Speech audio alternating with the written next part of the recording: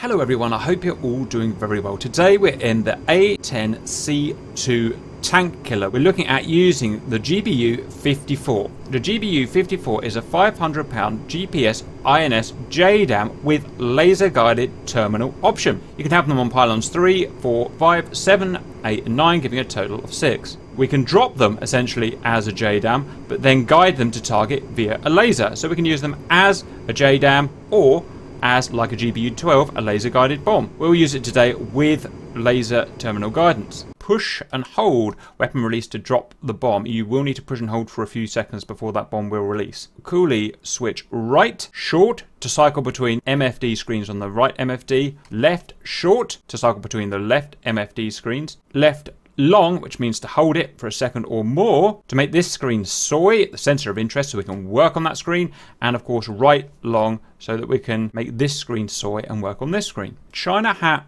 aft long, we're going to be using that to slew our TGP to our SPI, our sensor point of interest.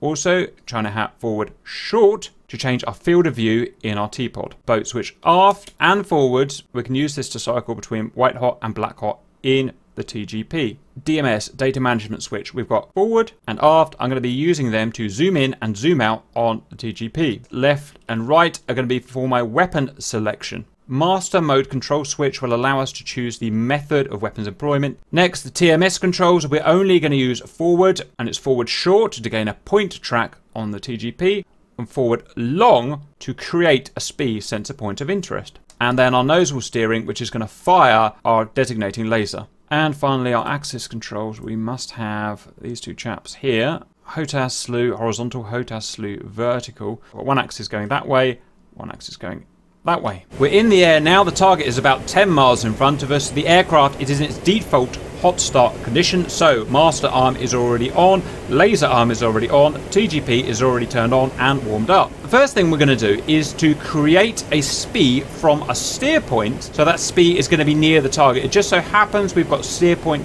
2 that is near the target. We can either increment steer points here with the steer point incrementer or with the HUD SOI, and the HUD is SOI because it's got a little star there, we can use DMS forwards and backwards and we've now got steer point 2 selected. So by doing that, we've automatically created a SPI on steer point 2. We just want to prove that to ourselves quickly, and we've got the TAD, the tactical awareness display here. We're currently zoomed in, we need to zoom out a little bit further, so we're going to make this screen soy with coolie left long. It's now soy because it has a box around it. Now we're going to use DMS forwards and backwards to change the zoom level. So DMS back, and we can see we are there, steer point one there, steer point two there, and it's got the wedding cake slash castle slash SPI sign there. So SPI is on steer point two.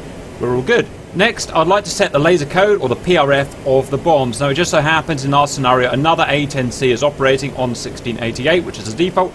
We need to change ours. So we're going to change to the DSMS page. We could click there, or we could do coolie left short to cycle between. So Maverick, load, DSMS. As default, you can see they're all flashing ready and 1688 PRF. I'm going to change that by clicking Inventory. Click the station that we intend to edit. Let's say I want uh, Station 3. It's going to be a GBU, a GBU 54. That's its current PRF, so we're going to change that on the UFC to 1588. You can see in the scratch pad there and load. I want to load it to the bomb or the bomb and the pylon opposite. I'm going to load it to both, load symmetrical. I'm now going to hit stat to go back to the DSMS and you can see Station 3 and Station 9 are both now 1588 PRF. Next I'd like to select our weapon. First we're going to change our master mode to be in CCRP. That is how we're going to drop this bomb. So press the master mode button, guns, CCIP CCRP. Next, we're going to choose our correct weapon. With the HUD as soy, and you can see we've got the star in to show that the HUD is currently soy, we're going to press DMS left and right to cycle between them. So, DMS left, you can see it's selected GBU 54, and we can check in here it's the correct one, Station 3, and Station 9 that have the correct 1588 PRF. Next, over to our TGP, which is warmed up and ready to go. I want to go air to ground mode, and I'm going to go into control. We need to match the laser code, so 1588 1588 and then click on the laser code, it's that one there. We now have the laser code on the TGP of 1588. Also, we would like to turn latch on. That means we're turning the laser from a press and hold affair to a modal affair where it will stay on until told otherwise. We're going to return back to the main TGP screen. Next, we would like to slew the T-pod to our current SPI, which is roughly near the target on steer point 2. We're going to do that with China, hat, aft, long. Done. The target is roughly in this area.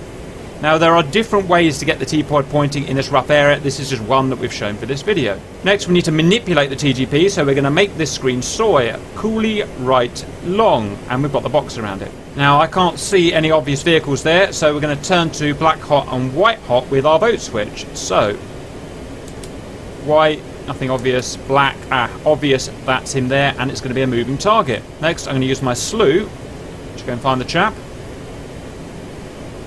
roughly about there. Next, I'm going to DMS forwards and aft to zoom in and out, just to get roughly what I want there. Next, I'm going to place the cursor in front of him, the crosshair, sorry. And when he moves through that crosshair, I'm going to press TMS short forwards to create a point track. And we've now got a point track. With them now locked in a point track, we need to move the SPI from steer point 2 onto this chap here. So, TMS forward long to create a SPI on this chap.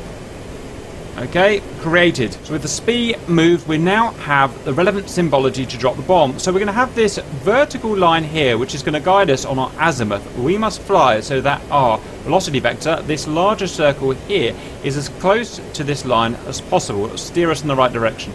We also have a dynamic launch zone here. We have a range from us to the target of 8.3 miles as we move closer, we will find here that symbology will expand to show us the maximum and the minimum launch range, our max and our min. We'll go through that. Also here, we've got a time, 1 minute and 34. Our current parameters will be our range till maximum release, or our range till our max.